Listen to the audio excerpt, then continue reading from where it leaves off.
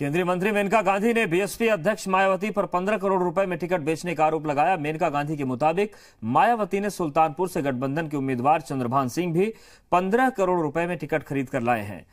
मेनका गांधी ने आरोप लगाया कि बीएसपी के तमाम लोग बड़े गर्व के साथ टिकट बेचने और खरीदे जाने की बात करते हैं।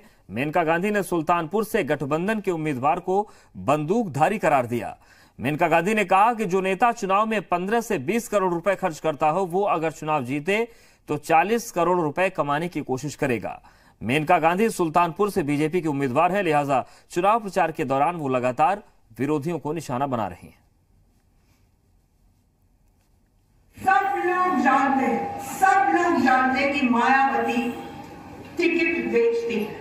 ये तो उनके पार्टी के लोग गर्व से बोलते हैं। ये तो उनके जात के लोग गर्व से बोलते हैं।